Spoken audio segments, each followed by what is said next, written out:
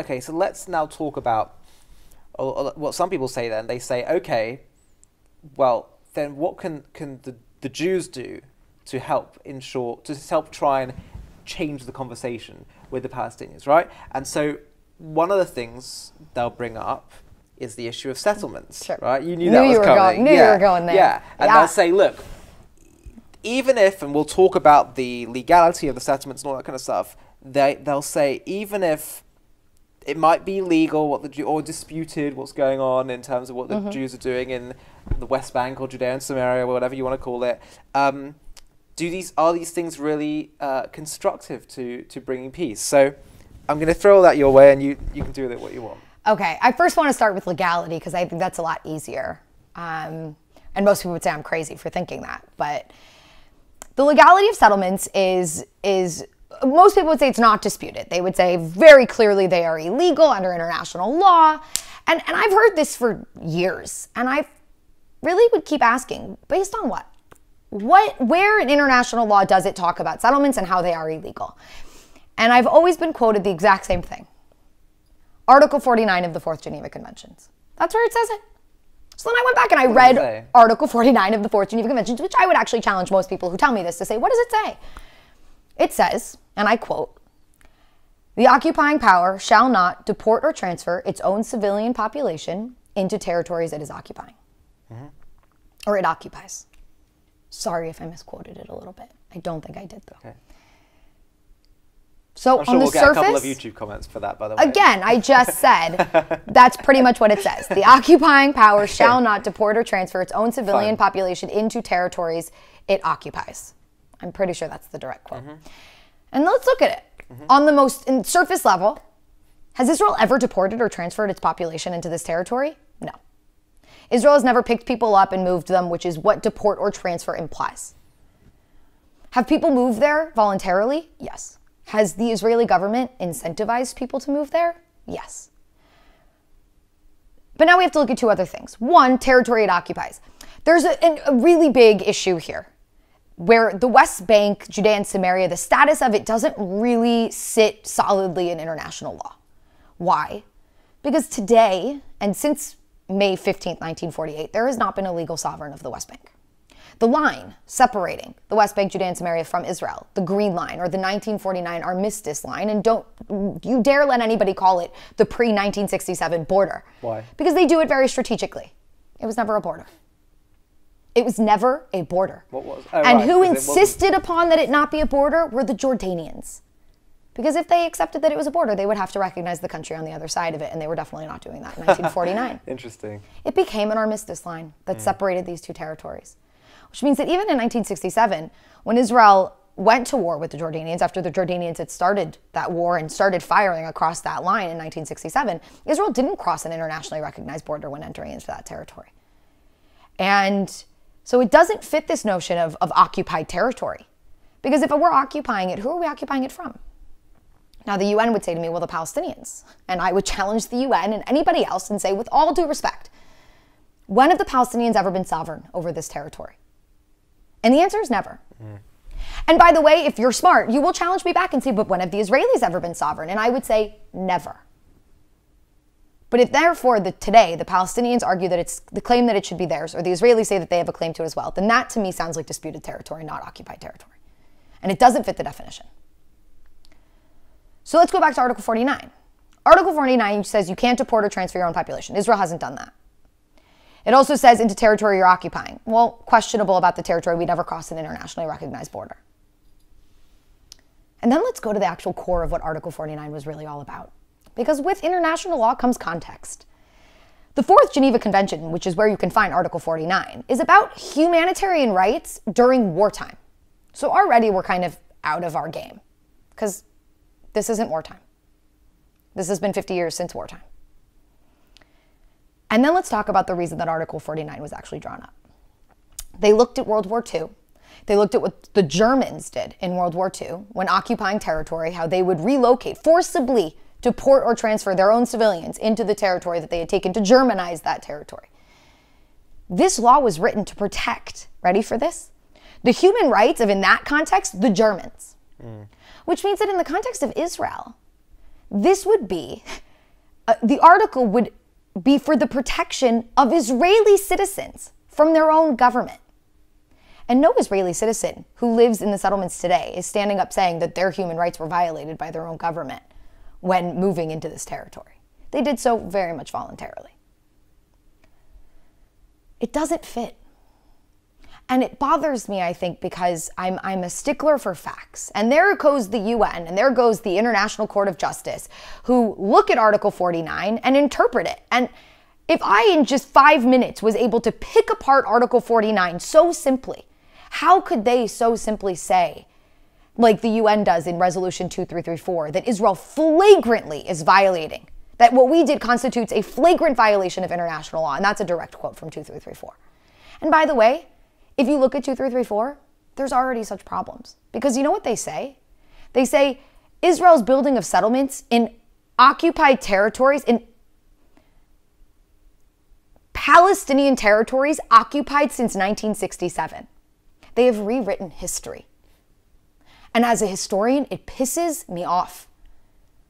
Because it's it's we need to have a conversation in what actually is the reality. And the reality is is that this has never been Palestinian territory. Maybe who- it was supposed to be. According to the to the last internationally international legal agreement, who, who did the territory belong to? Well, the last agreement, if you want to look at it, hmm. the only agreement that we have that's legally binding is the British Mandate, Right. 1922. And that And nothing has superseded it and since. who does that give it to? The Bank. Jews. The the Jews, right. because it gives the whole territory to the Jews. Now that is, I think, and I'm, I'm not an international But law expert, and Jordan, didn't they? I, yeah, well, they gave Jordan to the Jordanians. Eh, eh, eh, right in in 22. Yes. Okay, at that point, that's when Jordan was. So it ne- so never was Jordan going to be part of. No, the- of course Right, not. right. Absolutely not. Jordan Right. never had a claim to this territory whatsoever. No, no, no. Which is Jordan, I'm why. never was with the Jew, was was Jordan going to be allocated to the Jews as well by the British. No. Well, not by the British. Once the by the time the British had ratified it, there there that had already been done. The, Right. the territory had already been given back to the given to the Jordanians Right. or to the Hashemites, I should mm-hmm. say, who became Jordanians. Mm-hmm. Let's let's talk in, in in specific terms. So it's just it's frustrating because to say Palestinian territories occupied since 1967 is just an absolute rewriting of history. And that's why I go on campuses and people say to me, "But it's it, it was Palestinian. You guys took it in 1967 or you took it in 1948." And I, I acknowledge the, there were Arabs living there, Arabs who eventually come to identify as Palestinian. But with all due respect, they never had sovereignty over this territory. Fine, but now the question becomes: Yes. is it helpful? Okay, and Are that's settlements and you know what? Helpful? And this is the conversation that we should be having. Yeah, but there is the conversation. But it's not. It's not the conversation. Maybe it is more among the Jewish community. Yes, sure. The But Jewish outside of the Jewish community, and even sometimes inside of it, I get told, like I was by an organization who sent out an email recently, and I won't name the organization, who after this this decision was made by the United States to kind of start to say that settlements are are not necessarily or not illegal. They didn't say they were. So legal. welcome the US And by the way, that- that well, I thought I thought you know it's That's what they said, right? Mike yes Pompeo that they were disputed. are yes yes and i think that's accurate and i think that's that's that is a uh, a, a legitimate reading of international law Right. But that's not the conversation. So i sent this email back to this organization who emailed out a response to that saying don't make no mistake settlements are illegal under international law. And i responded saying what? How? Tell me. I'm really curious. I want you to convince me. And they said article 49 and I even said in my email, please don't quote me Article 49 because I know it and it doesn't prove it. And then they said, but look at all these consecutive uh, uh, rulings by the UN and by the ICJ. And I said, but they're, as far as I'm concerned, based on what I understand, they're just misinterpreting it. They're taking their bias and they're allowing it to cloud the reality. So, But does that matter? So- if they reinterpret it, I think it matters. right. I- I'm, with all due respect, I'm, I'm, I'm not just going to sit here and act like, you know, anti Jewish bias or anti Israel bias doesn't exist because Right. it does. But I'm saying if the international legal community misinterpreted prior legal uh, international legal agreement, they've just said it. It doesn't really matter whether they've interpreted or misinterpreted it. What's the new reality is it's they've said it's illegal now. I think it matters because the only thing that can say that it's illegal is international law. And there's no international law that says so. But again, let's go back to your question, right? I would love to have the conversation instead of somebody just saying to me, they're illegal, they're illegal, they're illegal, there's no conversation here, they're illegal. Let's have the conversation about whether or not they're helpful or not because i just showed in 10 minutes how easily you they they Right. we can show that they exist in a gray area of international law. So let's stop talking about law. Again it goes back to theft of land. Every time it's about trying to say that we're breaking the law. Mm-hmm. Stop. Mm-hmm. Let's talk about whether it's right or wrong. Let's talk about whether or not it's helpful or not. Mm-hmm. Now again those are hard questions to answer. Depends on who you ask. But there's one thing that i would bring up always because it really bothers me. It- there's a, a there's a thorn in my backside when it comes to this. So you know, a lot of people will say, well, they're not helpful, and the reason why is because they're going to prevent the establishment of a Palestinian state in the West Bank, as you build more and more settlements. Yeah, and also they might just incite more Palestinian Yes, anger. and and and so there's two things we need to address here, right? One, the Palestinian anger. Let's go there. I would say that goes back to a, a miseducation. If Palestinians were taught that it's okay that Jews will live in their country, then that shouldn't bother them. Mm. The same way that I grew up in Israel, living alongside Arabs, mm. and when Arab communities grow in Israel, I don't get frustrated or angry, and it doesn't cause me to become violent. Mm-hmm. So that's number one about that. We're when you when you peel back one layer, what we've now gotten to is ideology. yes, but they they say, and it might may well be partly true, that this is really a ploy to prevent. A, And there are, and there you can't deny it. Right. You can't deny it. There are absolutely some Jews whose intention when it comes to building in the West Bank, in stop a Judea and Samaria, is to stop a Palestinian state. Yeah. You can't deny it. right, but the point is, The even point if that's is- true, Jews should still be able to live in a Well, Palestinian and more than that, even if that was true, if the government decides, if the majority decides, like we did in Gaza in 2005, whether you were there with whatever intention you were there with, you were then expelled by the Israeli government. Right. That was a decision that was made over your head and you were dragged out kicking and screaming, but we did it. So, yes, let's take one step forward and I the would settlements go, go go so grow so big and there's such a big Jewish It's a great question. It's a great question. They grow so big it's impossible. Yeah. It's been 50 years Right. What are the numbers? and there are about 420,000 Jewish settlers Okay. in the West Bank. Okay. alongside, and this number is heavily disputed. I'm going to use the most mainstream number that I could, the, the most middle of the road number, a number that I, Yep. to a certain extent, trust, and that's the IDF, who says there's approximately 2.7 million Palestinians living in the West Bank. Okay. Now, there are some who would reduce that number to less than 2 million. The Palestinians sometimes say that there's more than 3 million, 2.7 million approximately. Mm-hmm. So we're what, less than 10% of the population? I don't know how to do math right now. Yeah, but people will say, yeah, but if you keep encouraging It, yes, but it's been 50 years. And is it is it accelerating at the moment? No. Settlement building? No, it hasn't. And it hasn't for 20 years. Okay. Now and so if- wait, I got I got to Okay, make this go, go, point go. though. I'm sorry because it's so important. I can't just beat around it. So my argument is, and I think I, not my argument, but the point that I want to raise that I think needs to be a point of discussion is every time somebody says to me, "This prevents, this will prevent the establishment of a Palestinian state," my response is no, because why can't Jews live in that Palestinian state hmm. and be 20% a, a 20% minority like, oh, the 22% Arab minority like we have in Israel, hmm. and have equal rights, and have dual citizenship, and be protected by the government. but then The way the way that Arabs are in Israel. Now again, don't get me wrong, Arabs are discriminated against. It's unfortunate and it needs to change. No doubt about how it. How are they discriminated in your view? I mean, Is it more on, on more peer-to-peer, cultural, but I don't want to go into it. But some of the comments being made lately about about the Arab population in Israel are disgusting and and racist, and we need and and that, that By whom? You mean by by, by people and- by politicians and by people. Right. You know, it's the reality, and we're not going to. I think anyone who would deny it in Israel is just Oh, yeah. again blind to the reality. Yeah. But would again, you say would you, would you say it's it's like endemic in Israel? no, Right. but it is absolutely a problem. Okay. it's hard to gauge but i think i think there's also we need to we need to separate this notion of hating versus being afraid of mm-hmm. Because i think those are two different things and i think there's a lot more jews in israel who might be afraid of arabs because they've never met them um, and because of the reality of our conflict The rockets and all that. it's just yeah it's it's and it's sad and it's it's something that really needs to be dealt with. But if you go back and i say why can't jews live in a palestinian state? then when somebody says to me settlements prevent a palestinian state from being created my response would be no. Settlements make it impossible for a jew-free palestinian state to be created.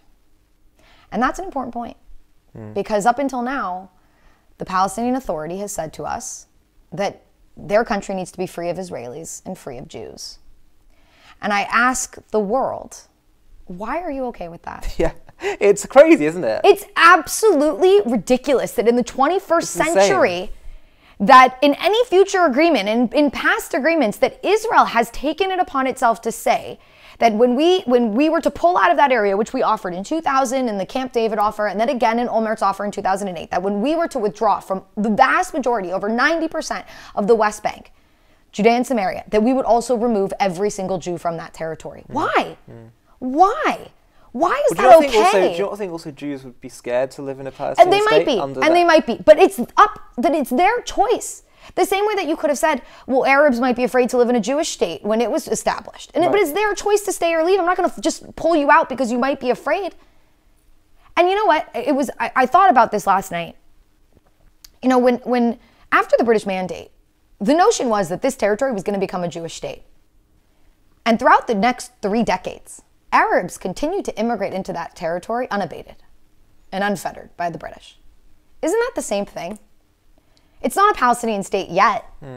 But if we're talking about it becoming a Palestinian state, but it's not there yet, then shouldn't the British have stopped all Arab immigration into what was going to become the Jewish state?